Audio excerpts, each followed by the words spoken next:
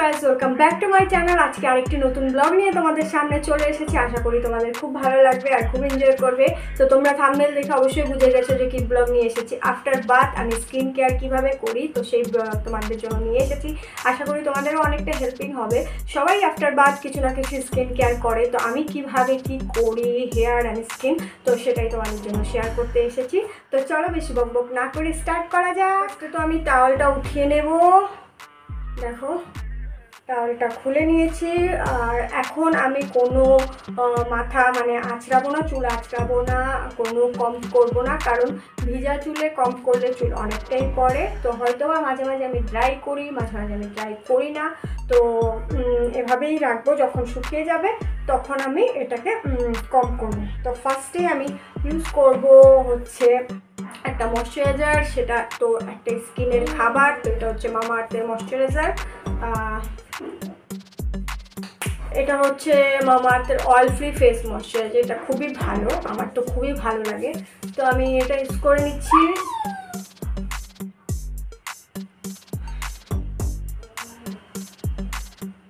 দেন after moisturiser আমি use করব এই মামা আর্থের এই সিরামটা, এটা হচ্ছে স্কিন কারেক্ট ফেস সিরাম, এটা খুবই খুবই খুবই ভালো মানে আমার তো খুবই ভালো লাগে।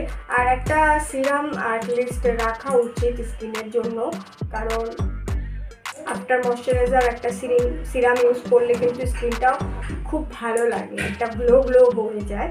তো এটাও একদম ভালো হবে।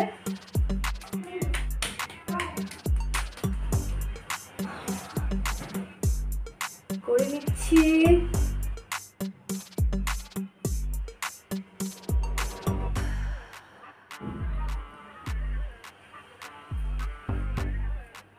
দেন লিপ বাম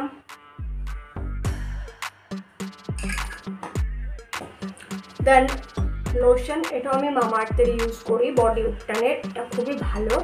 তো লোশনটা তো লাগেই, বলো।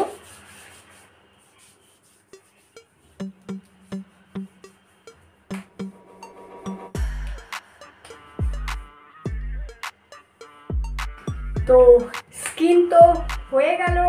তো স্কিন তো হয়ে গেছে দেন আমি ইউজ করব চুলে একটু সিরাম তো আমি এটা লিভনেরটা ইউজ করি, আবার স্ট্রেক্সেরটাও ইউজ করি। তো সিরামটা দিলে না চুলটা একটু ভালো হয়।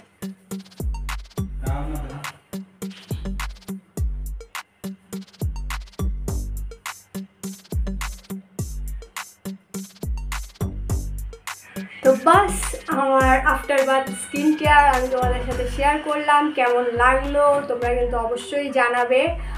আশা করি ভালোই লেগেছে, তো কেমন লাগল তোমরা জানাবে। আর কে কি প্রোডাক্টস ইউজ করো আমাকে জানাবে, আমারও অনেকটা হেল্পফুল হবে যে কোন প্রোডাক্ট ইউজ করলে ভালো হয় ফর স্কিন ফর হেয়ার ঠিক আছে? তো আমাকে অবশ্যই কমেন্ট করে জানাবে। তো চলো তাহলে আজকে আমার ব্লগটা এখানেই শেষ করছি। আশা করি তোমাদের খুব ভালো লেগেছে। আর ভালো লেগে থাকলে লাইক কমেন্ট শেয়ার এবং সাবস্ক্রাইব করতে ভুলবে না। চলো বাই বাই